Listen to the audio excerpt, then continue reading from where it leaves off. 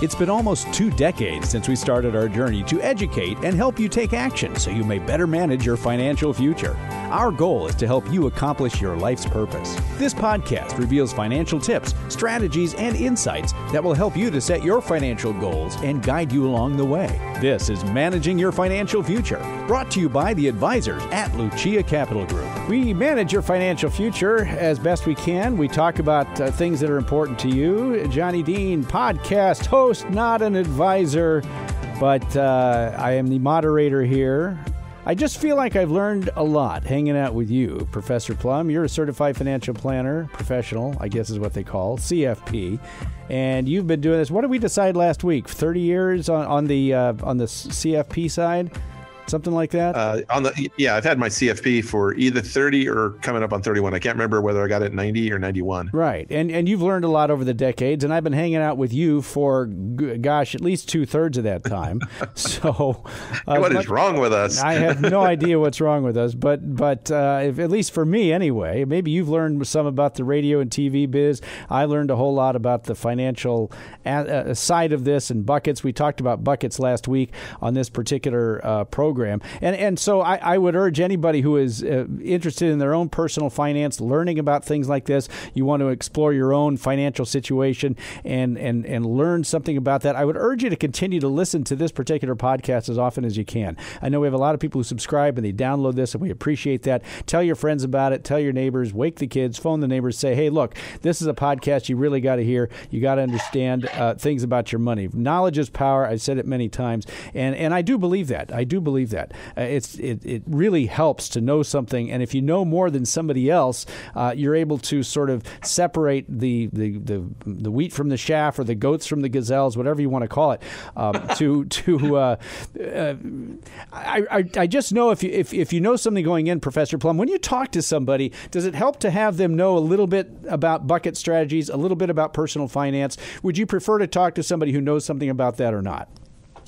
It doesn't really matter. It depends on the person. Uh, there are some people that we talk to who know a lot about the wrong things, but think that they are smarter than anybody else and they're not actually looking for advice they're looking to tell us and or have us give them uh, confirmation know, an okay that what they're doing is right yeah. they don't want to hear that what they're doing is wrong they want to hear that what they're doing is right and it may or may not be right uh, at least not from what we've experienced over the 30 plus years of doing this. You, uh, yeah. Uh, so, but a lot of people, we, we talk with some people who have no interest in any of this. Other people are like, how does this actually work? What kind of, they want to know the risks involved. They want to know what's going on a little bit. That's fine.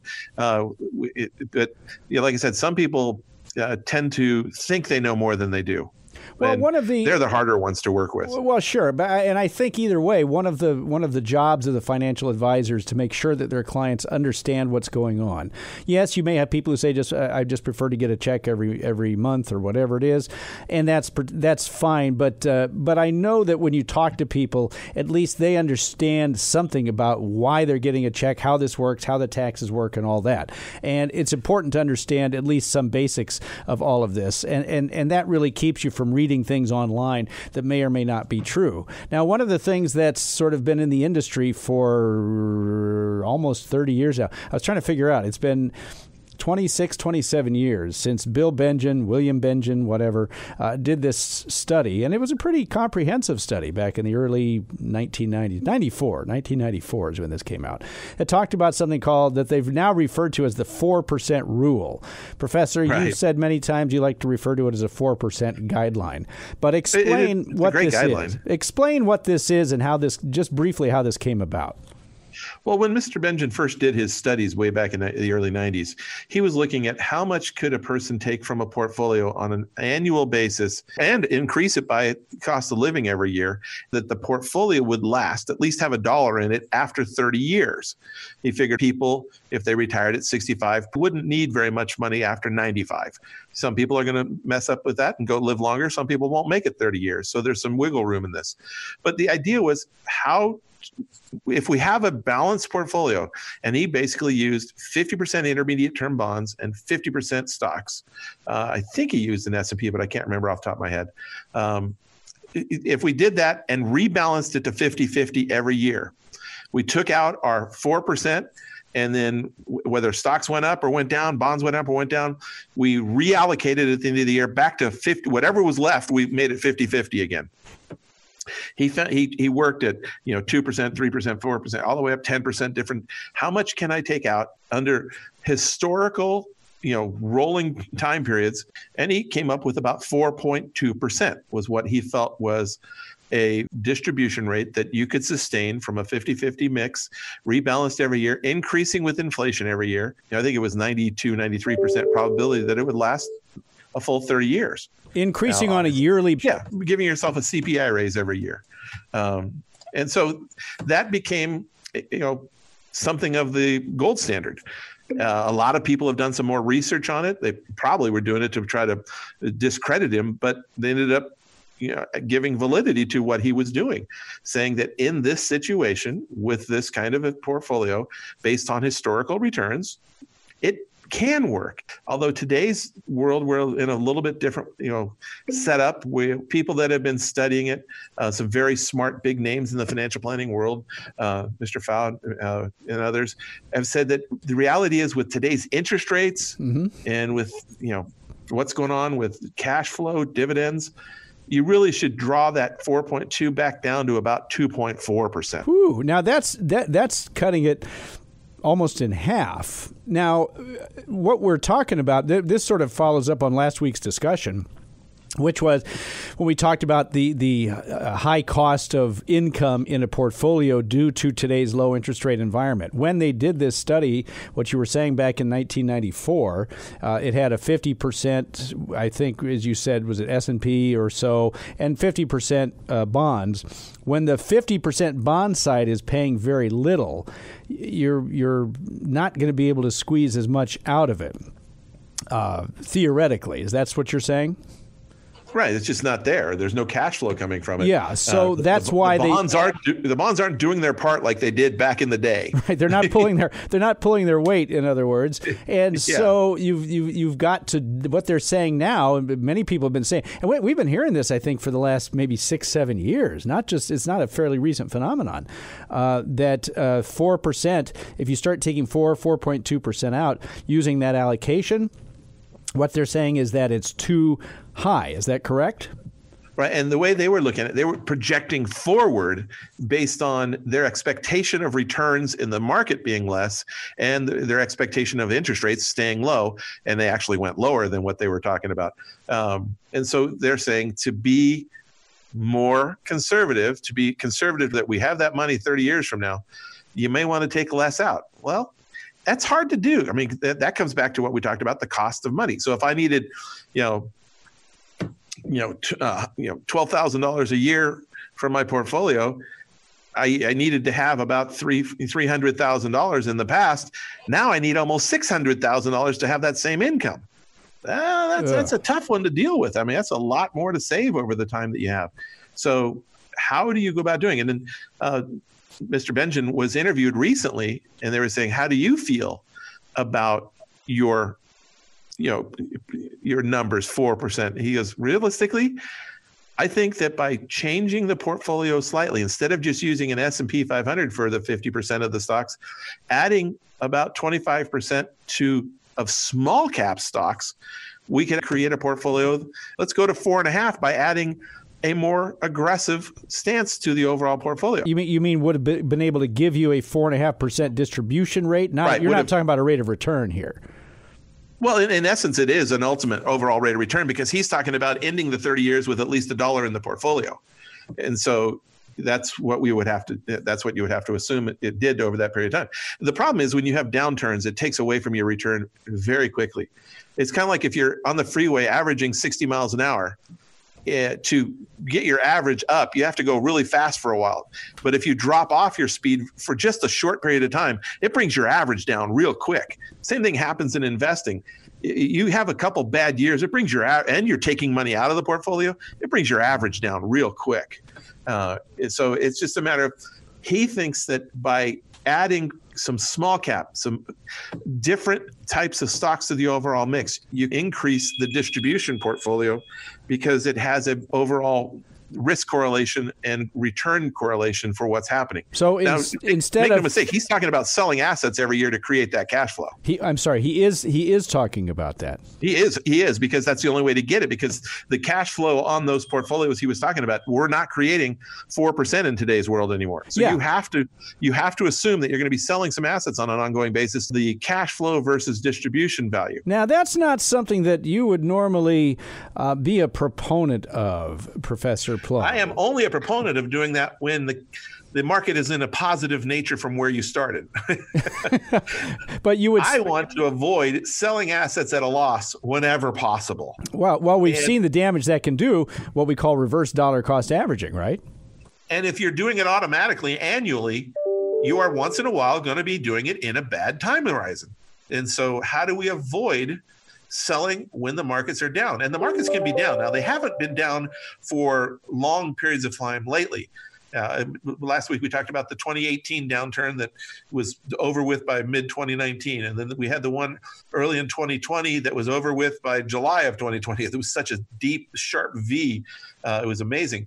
But at some point, we may get a downturn again, like historic we've seen in this history, where the markets take a year or two to get to the bottom and then take three, four, five more years to get back where they just were at the beginning. And if that happens, selling assets is going to deplete your portfolio to create the same cash flow is going to deplete, deplete your portfolio pretty dramatically. You just you don't want to do that, uh, and so we want to find a way to avoid it. And what we have done through our numbers, through our research and things of that nature, is by blending the types eh, by man, matching the assets, the risk, the return, the time horizons, and let the assets do what they're what they do best that helps you create that portfolio where you don't have to sell when the market is down. What am I what do I mean by let assets do what they do best? Cash is meant to be spent over the next several years. not talking about an uh, in emergency fund or something just for the, the rainy day. But if you have cash, it doesn't do you any good over a long period of time because it doesn't make any money. But it's a store of value for the short period of time. So let's spend cash and buy time with that cash to let stocks and other investments that can perform better than inflation. Let them do what they do. Now, what they do, they go up and down. We just have to avoid the downtime. So we have to have a long enough time horizon to let it get to a positive time horizon.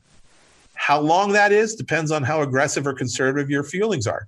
And so by creating this time segmentation, if you started today and the markets go straight up, fine. You can always take your profits out of the market instead of the cash and refill the cash, however you want to do it. But if the markets go down, fine, you got cash you can live on while the markets go through their little temper tantrums and wait to come back up hmm, you know, this sounds an awful lot like a bucket strategy that we described uh, in the in the previous in the previous podcast. This is this is what we talk about managing, matching rather your assets to your liabilities, as you said. And uh, we we've written all kinds of things and done all kinds of podcasts. We've talked before about bucket strategies and why, uh, because the markets don't go up 100 uh, percent of the time. Now we've heard uh, from the other folks who have said that uh, the just getting back very quickly to this four percent rule, whatever you want to call it. Um, we've heard from people you, you mentioned them earlier who say, "Well, gosh, now four point two or four percent is too high. It should be uh, you know, closer to two point two percent in some cases."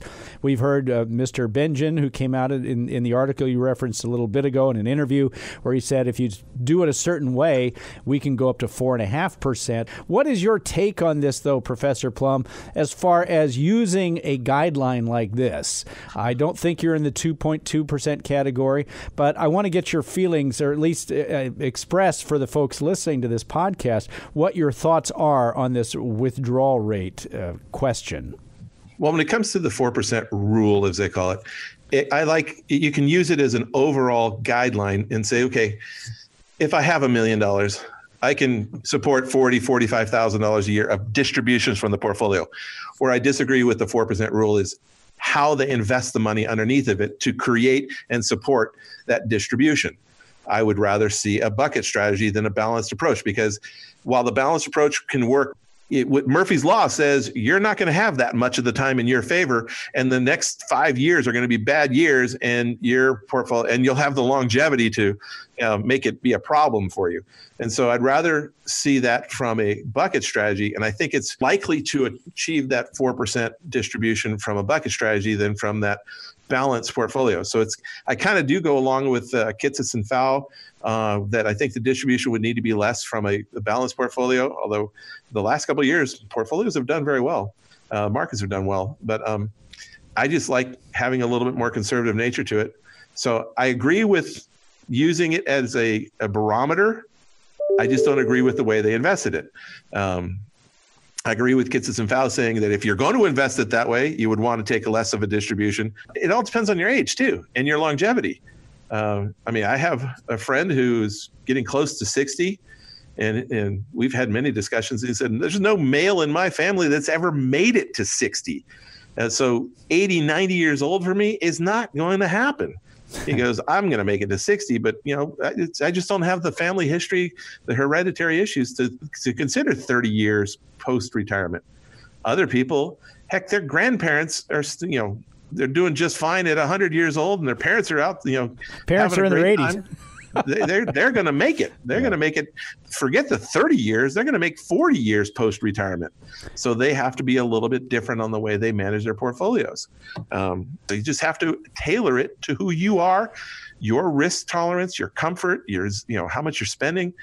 But you don't want to be taking 8 10 12% out unless now, you're 90 years old. when you're when you're putting a bucket strategy together for someone and you're doing it do you do you keep in mind a four for, so for example if you had somebody who says look i got i've done very well. I got 2 million dollars or so uh, in my portfolio. Just as a general rule, are you thinking, okay, they got $2 million.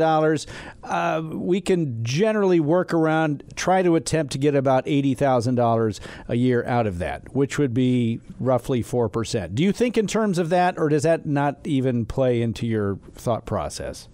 Actually, we do look at it that way. We start there and then we look at what they're doing. Have they started their Social Security yet? If they're going to postpone their Social Security, we can increase that 4% because by the, you know, for the first several years, because once they start, start their Social Security, then we can reduce it. Uh, but if we look at it and say, look, at I need 120,000 a year and I got 2 million bucks. Well, the 2 million can provide the 80. Are they going to have 40,000 in social and pension? Um, and if so, okay, now we're getting, we look at it as how reasonable are their goals? If they say, well, I got $2 million, I'm doing really well, but I need 200,000 a year and I'm still 10 years from social security because I'm only 56 or something. Well, that's probably not going to cut it. Uh, so without doing, you know, serious math and doing other things, we, we can take a look at it and say, you know what, that's a 10% distribution. Uh, going to be a little tough. Let's let's you're not ready to retire today, at least not with that kind of an income, uh, unless they also then say, oh, by the way, my house is going to be paid off in four years, and my 200 is going to turn into a hundred thousand. Okay, well that's a different game, right? Um, so, but it's a great way to look at a portfolio very quickly. It's very easy to get a guideline of what your income yes. might look like yes. and, and, go from there. Yes, and then get into the serious you know actions after you find out that it's somewhat reasonable. Well, that's why I think you, you you've said over the years it is a guideline. It's not a rule because rules are generally meant to be followed. Guidelines are meant to be used to, to guideline is something you look at and then sort of make determinations uh, from there. Uh, the, again, the example what you just gave was if somebody's got two million bucks but they need one hundred twenty thousand a year, you might think, well, that's that's pretty rich. But they say, hey, but I'm sixty three. Um, in three years, I'm going to have my pension and I'm going to start taking my Social Security, and that's going to be more than enough. Uh, to, it's going to cover the extra 40 grand that I'm short. So, can I take 120 for the first three years so that I can retire and get out of this lousy job or whatever it is I have? You might be more inclined to say yes. Is that right? Yeah, and they say, well, my Social Security and pension is going to be 50, 60 by the time I retire. So, yeah, that comes in handy. If it's only going to be 40, then we've got an issue of we're short for the first four years and we're not making up the difference later on. But it all comes into play. The first thing is to let's see how reasonable their goals might be for younger people too. They say, okay, I'm saving the maximum into my 401k right now and my IRA and things. So I'm putting away 25 grand a year, whatever the number is. Uh, and so if I do this and I earn X amount, by the time I retire, I should have about X amount of dollars. And how much could that potentially support? Well, it could support, you know, your 80,000 or whatever the number is, plus your pensions and social if you have that okay, well that I, I can work with that. So let's shoot for that. Keep doing it. It gives people incentive without having to go through serious, serious, you know, long-term projections of, you know, Excel spreadsheet, you know, everywhere going out, you know, 30, 40, 50 years it's it's a great way to do some some you know napkin planning so to speak yeah you're on track you don't have to have a 30 page financial document to say you're on track you just have to have some reasonableness in what's going on well, it's about planning, it's about strategy, and it's about managing your financial future. And that's what we do here on this program.